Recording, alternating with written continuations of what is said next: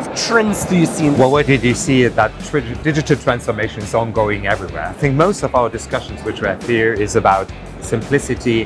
How do we gain more customer centricity while using technology and using more broader, just being more than an insurance product and selling insurance product then more services, so more kind of ecosystem approach. So I think the one one of the most interesting things that happened here was a discussion about the uh, uh, the role of insurance companies in the nearer future.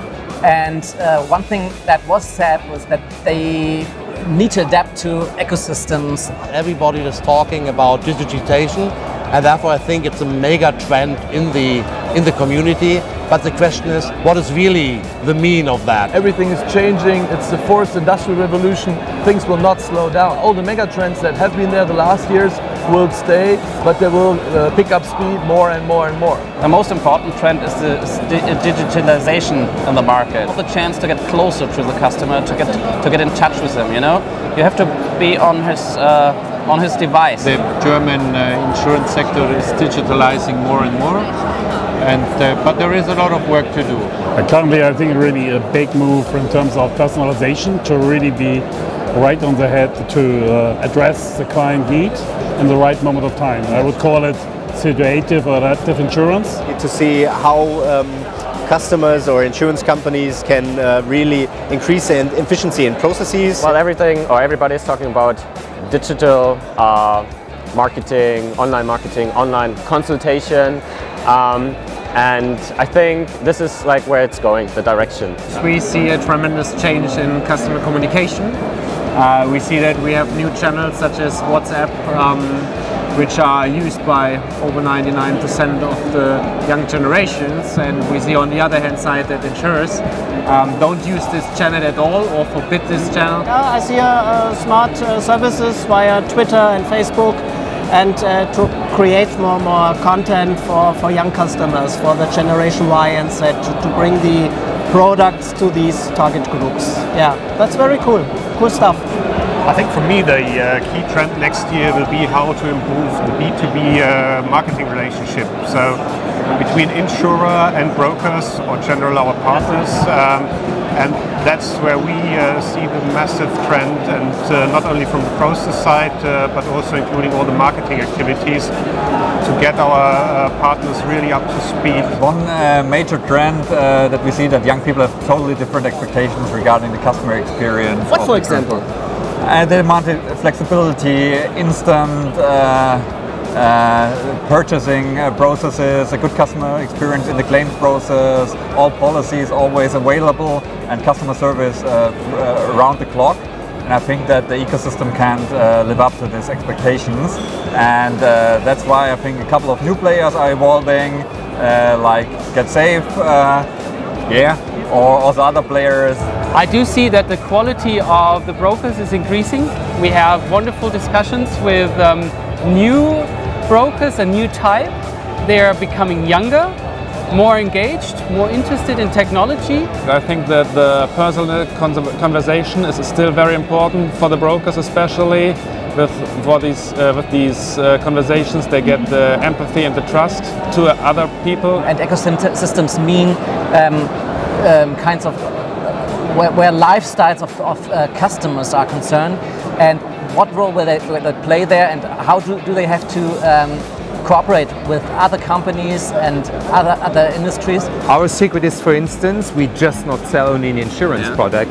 We, for instance, in health, we would like to help people to stay longer healthy, to live a better life, to give them advice in the in the area of how can I have a, let's say, a better life how have I, I perhaps I have a kind of tracking on, on my insurance, on my health roadmap, which I could do better. Yeah. And for instance, in the case that I do have a severe um, health issue, that we do accompany people with a personal coach. Um, in the case of, I look, you need those kinds of medicine. You should do this, you should that. We remind him to take his medicine, etc. Especially for elder people, quite interesting thing. You could of course say you have had actuaries uh, forever. Yeah. Uh, isn't that the same as data science? Yeah. And the answer is no. Okay, Uh, why not? It's, it's a different, a good question. it's a different idea how to how to handle uh, data. clients has realized how easy it is to buy with Amazon, to look at Google, to buy something with Spotify and so on. And therefore I do really believe that clients want to have an easy access to get insurance. And I think this is my impression of digitization to say, yes, we would like it, make it easy as Amazon to buy insurance contact. And young people like to like just, you know, they open up their laptop and then they click on a link and then the online consultation basically starts with like an expert, um, like I do it with, with online consultation from everywhere. So um, the business is kind of changing. It, you don't need an office anymore. How do you do it? One of our key uh, key elements is uh, what we call web days. It's just uh, the synonym for um, our whole uh, marketing digitalization program, together with our partners, where we try um, to improve the website uh, of our brokers, um, how local SEO works. How to get them uh, fit in Google and everything which is related. Uh, so to you have a team. So you have a team that visits the broker and helps them. Um, not the single broker, Yeah. but uh, at least we offer um, events or fairs where we, um, like here today, where we've got a stand and uh, brokers can book time slots um, and we do a web- website check, um, we explain SEO to them, etc., etc. Yeah. Now we're working on a, on a trailer here for for videos. Yeah. To use uh, videos for, for better communication between the primary insurer, insurer and the uh, customer. Actually, currently in the German market, the average uh, age of a broker is around 55 euros. And we do see in demographics that this generation will now turn into retirement. But there are new guys, new girls coming up with new bright ideas, online uh, trends like Instagram brokers, uh, brokers via Facebook. There's so much more than sitting at the kitchen table. And this is really promising for us. this, this one-time hit things uh, is disappearing. Everybody can inform himself everywhere, and so we really see the convergence of data and trusted relationship in order to come to a new relation, uh, to new level of relationships where you can really sell many, many things. And and you need to Do you have an yeah. office? Yes, well, at, at my home, so I'm working from home.